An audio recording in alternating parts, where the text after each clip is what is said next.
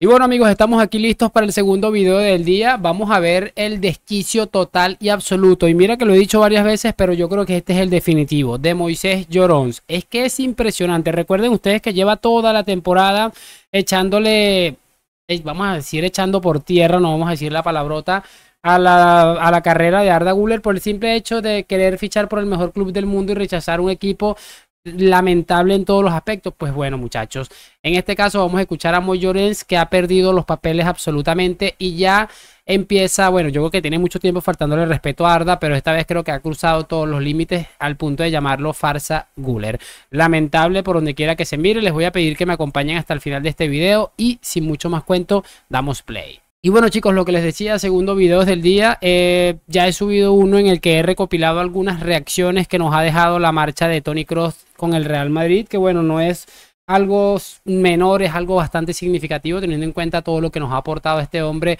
durante todo el tiempo que tiene como jugador del Real Madrid. Así que les recomiendo mucho ese video, ya está disponible en el canal, pueden ir a verlo. En este caso vamos a hacer lo que hacemos más habitualmente aquí, que es reaccionar a algunos, algunos clips de la prensa y cosas así. En este caso he seleccionado, muchachos, un clip de aproximadamente 6 minutos de Moisés Llorens analizando un poco al Real Madrid y específicamente en ese énfasis lamentable que tiene con Arda Guller. Así que presten muchísima atención porque de verdad es absolutamente lamentable. No me quiero enredar mucho más, vamos a pasarnos a la pantalla, vamos a colocarlo muchachos porque es, repito, asqueroso que un tipo de esta edad acuse a un futbolista como Arda Guller que puede ser perfectamente su hijo, porque tendrá unos que unos 50, 60 años este Moy Llorons, me parece realmente lamentable. Así que empecemos a escucharlo.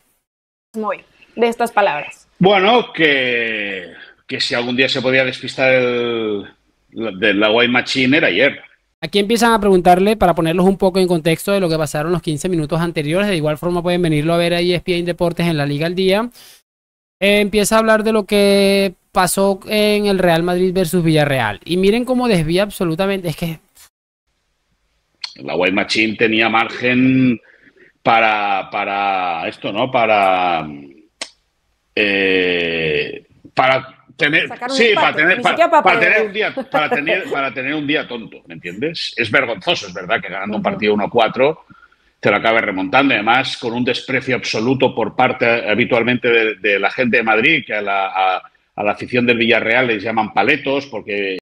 Es bastante ridículo de verdad lo que argumenta aquí, que la gente del Real Madrid le llaman paletos a los del Villarreal. Pueden buscar en cualquiera de mis canales, que yo creo que ya entre los dos canales llevo más de mil videos hechos y jamás me he dirigido de esa manera a la afición del Villarreal, a quienes además le damos toda la gloria del mundo porque recordemos que con el Villarreal empezó todo aquella fatídica noche del Palancas. Sigamos. Eh, Villarreal es un pueblecito pequeñito, muy coqueto, muy, muy industrial del, levante español, cerca de Castellón.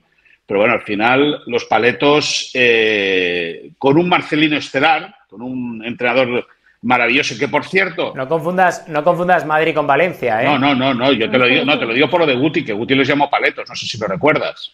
No, no, ¿lo recuerdas o no lo recuerdas? ¿Recuerdas que Guti, Guti, Gutiérrez, José es que eh, es, lamentable esto, por cierto, yo no tengo ni idea de, de, que esto sucediera, pero que vaya a decir esto, que haciendo, generalizando como que es el Real Madrid el que trata de esta manera a los aficionados del Villarreal, es ridículo de verdad. María Gutiérrez Guti. ¿Lo recuerdas, no? Que te llamó Paletos, ¿o no? Pues di Guti y no generalices a nadie. No, no, no. Yo en Madrid no he escuchado. Bueno, no, es que no, es que tú, tú, en Madrid, tú, en Madrid, no escuchas a nadie nunca. tú en Madrid nunca escuchas a nadie. pero bueno, la cuestión. Yo te lo digo para que mejores como periodista. No, no, si, no, no, si yo me. Escúchame, si no, y para que si no vas a venir tú a darme lecciones para mejorar el periodismo, Rodrigo Fáez. tengo, lo tengo claro. Pues pero bueno. No, no, está claro, está claro que aprender aprendes poco de lo que aquí decimos. Esa gente que llama paletos. Porque ni yo, ni toda la gente que te dice en Twitter cada vez que marca gol, Arda Guller.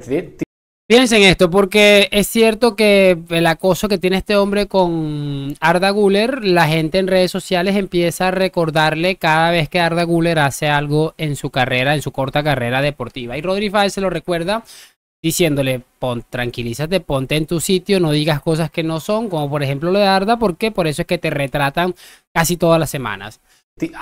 Arda Guller, tienes que empezar por una cosa, Moisés, cámbiale el nombre. Arda Goller. O, porque lo o, escúchame, o farsa Guller, ¿me entiendes? Farsa Guller, porque te voy a decir una. Sí, no, ah, te voy a decir farsa Guller porque. De, farsas no me hables, de farsas te, no voy a, te voy a decir, te voy, a hablar de farsa Guller, porque resulta que el tío no juega en toda la temporada, ni, convocado. A mí me parece curioso porque no me acuerdo si es en este programa de la Liga al Día, ya les digo, recomiendo verlo completo. Él empieza a decir, empieza a tergiversar una opinión que tienen estos dos señores en el que hablaban de, de Pedri, hablaban de las lesiones de Pedri, él empezó a tergiversarlo todo, como que no, que cómo se van a reír de un futbolista que tiene lesiones, y miran que él se ríe de que Arda no haya podido disputar gran parte de la temporada debido a las lesiones, mira cómo le pasa absolutamente por encima apartar. No, marca. Pues eso es lo más increíble, Moisés. es lo más increíble que, lleve seis goles en liga en 373 minutos. Mira, yo hice la matemática.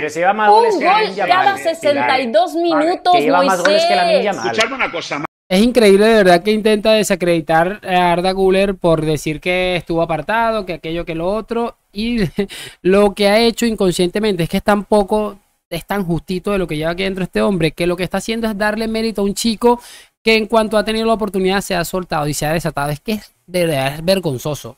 Un gol cada 62 minutos que ha jugado. Eres más madridista que Carolina Guillén. No, yo no soy madridista, yo soy periodista. No, tú eres más madridista que Carolina Moisés, No, punto uno. Es que los números no mienten. No, te lo dicen nada Los números son madridistas también, Pilar. pero me dejáis hablar o no. Es que mira cómo termina absolutamente desquiciado. Me dejáis hablar. ¿Puedo hablar o, o, o lo dejamos? Bueno, te estoy dejando hablar, pero habla con sensatez. No me estás dejando hablar. Habla no me con estás sensatez. dejando hablar, que te pones así no me dejas hablar. Te voy a hablar con sensatez que no me escucha. Sí, escucha ahora, ahora, escucha, escucha, escucha. farsa Guller, porque es Farsa Guller, no ha jugado en toda la temporada. Solo ha aparecido cuando la liga estaba liquidada y sentenciada en favor del Madrid, que le ha merecido ganar. Bueno, por lo menos ha aparecido, no como algunos otros futbolistas nacidos o criados en la vacía que ni cuando la liga está sentenciada han aparecido. Y resulta que ayer Farsita Guller marca dos goles que no valen ni para ganar un partido. ¿Qué queréis? ¿Qué queréis? Farsa Guller, como tú le llamas, estuvo tocado y lesionado durante más del 70% no, 85, de la 80, ha estado 85%. Bien, y le han dado la oportunidad cuando tenía que darle la oportunidad a Ancelotti y la aprovechado. Y te guste o no, a día de hoy lleva más goles en Liga que la Lamin mal que es que lo llevas muy no, mal. No, yo no lo llevo mal, escúchame, ese es un mensaje populista. No, claro que lo llevas mal, pero ha pasado de reírte de él a de repente llamarle farsa es que es farsa Guller. Ahora, no por nada, Ancelotti dijo que, que, lo quiere mantener para la siguiente temporada. ¿eh? Rodriguito Fáez, escúchame una cosa. Lo virló desde su escúchame, escúchame una cosa. Escúchame una cosa, Artita Guller, escúchame. Lleva seis goles, muy bien. Y lleva uno más que, que Lamin Yamal, ¿no? Es verdad, vale. La Niña Mal tiene. La, la, Mal con 16 años está sentado en equipo en primera división. Guyer con 16 años no sabía ni lo que era la PlayStation. Punto número uno. Pero es que de verdad me parece lamentable. Incluso cuando le. Porque claro, él empieza a decir que los goles de Guller son intrascendentes o no tienen ningún tipo de trascendencia en el cuanto al resultado de la consecución de títulos del Real Madrid. Pero cuando le hablan de Lamin Yamal, ya lo que hace es cambiarlo, que cuando tenía 16 años, que no sé qué, que, porque si estamos hablando de goles totalmente intrascendentes, los que lleva Lamin Yamal, que por cierto son menos, fueron muchísimo más, porque el Barcelona eh, apurado le alcanzó para quedar segundo. Es que de verdad este hombre es uno de los tipos más lamentables que me, ha que me he topado yo desde que veo fútbol o estoy en redes sociales en contenido de fútbol. Es que es asqueroso. No, pero ¿sabes cuál es la diferencia, Moisés? Pero déjame a mí ahora diferencia. A ver. No, pero, pero, es que yo, para contestarte rápido a esto, que nosotros desde aquí no nos estamos metiendo con la ninja mal. Estoy, metiendo, estoy explicando Ni nos estamos riendo de él como lleva riéndote tú de Tú siempre te metes con Arda Guller. Pero a ver, yo ya sé quién va a terminar esta discusión. No. Pilar, déjame acabar, que no me dejas Ya acabaste. No he acabado, no he acabado. Mira cómo está totalmente desquiciado. Es que de verdad es increíble la herida tan profunda que les ha dejado Arda a estos señores. Es, es preocupante, de verdad. Te doy cinco segundos porque necesitamos ver lo que, que no he acabado. Lo que, no he acabado. Que no he acabado. Corre. Farsita Guller lleva seis goles. Y Lamin dices que cinco. Farsita Guller con 16 años igual estaba eh, eh, jugando a la PlayStation. Punto uno. Punto dos. Sí. Punto número dos. ¿Qué incidencia ha tenido Farsita Guller en el juego de Madrid? Cero. La niña mal lleva 5 goles y 10 asistencias. ¿Cómo que cero? Pero, no, bueno, 6 goles, 6 goles, 6 goles que no han servido para nada, que el Madrid era campeón. Por eso, y que los 6 goles y 10 asistencias de la Minya Mal mmm, que han hecho eh, en, si, en cuanto a incidir en el juego del Barça, que le haya dicho, bueno, con este gol de la Minga Yamal ganamos la Copa del Rey, por lo menos, por lo menos el trofeo Cataluña. Es que, de verdad, no se sostiene bajo ningún concepto este, este discurso tan asqueroso. ¿Cómo que no? Para seguir sumando de 3 en 3. No, no, de 3 en 3 no. Que cualquiera que, cualquiera que te escuche, estás hablando del peor jugador de la historia que tiene 18 años acaba de llegar al Real Madrid. Escúchame, Farsita Guller, que pareces tú, ahora ya eres del club de defensores de Farsita Guller. Escúchame otra cosa. pero, me, dejas hablar o, no? A ver, no, no, no, tú. Ponme las palabras que dijo José Lu, porque si no. La Liga al día no, Moisés al día se va a llamar. La Liga al día no. Eh, Rodrigo Fáez es un maleducado. Maleducado y él está ahí todo el rato interrumpiendo. Ustedes, de verdad, y con todo el respeto del mundo, ustedes no sé si alguna vez llegaron a jugar fútbol en, en la calle con sus amigos X o Y y tuvieron ese amigo, ese compañero gordito que siempre era el dueño de la pelota y se la llevaba cuando no, no, no salían las cosas como él quería. Es que es este hombre con 60 años. Tiene que llamar esto. Ya está. O sea, luego, luego todos. Mira, luego vamos a ver las palabras no, de José No, no, no quiero ver las palabras de José Lu. No quiero ver las palabras de José Lu. Sí, no quiero vamos a ver, productor, por favor. Aquí manda el productor. Escúchame una cosa. Escúchame. ¿Y qué dijo José Lu? Ardes un talento, un diamante que tenemos. Ni uno. Escucha, Ni uno. escucha. Es una farsa. Creo que lo hemos cuidado Sí. muy De verdad que hasta ahí he, he seleccionado este clip. Me parece asqueroso, de verdad, cómo se pone de, primero, de exageradamente nervioso.